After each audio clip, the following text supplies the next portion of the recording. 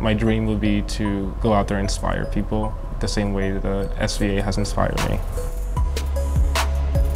The department includes printmaking and painting and sculpture, digital sculpture, digital ceramics, ceramics, metalworking, printing on fabric, electronics for artists. We have the first bio art laboratory in the United States. You name it, we do it here. I wasn't sure what exactly I wanted to do, but I knew that there was a lot of different elements to play with at SVA.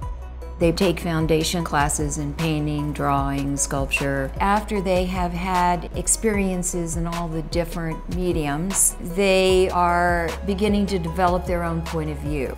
The faculty at SVA, it's amazing. We are in classrooms with working artists who might have a show here in New York City. We see how things are being done professionally. It's a great way of learning. I've had students get jobs in galleries and museums, to artist assistants, and a lot of creative digital work.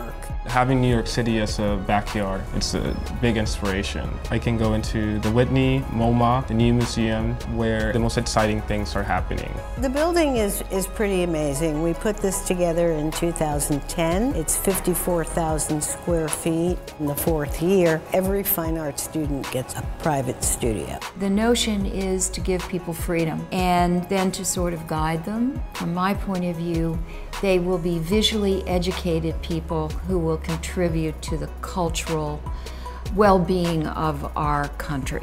Instructors here have inspired me and pushed me to do great things and feel pretty confident that I have the power to do that and everyone does.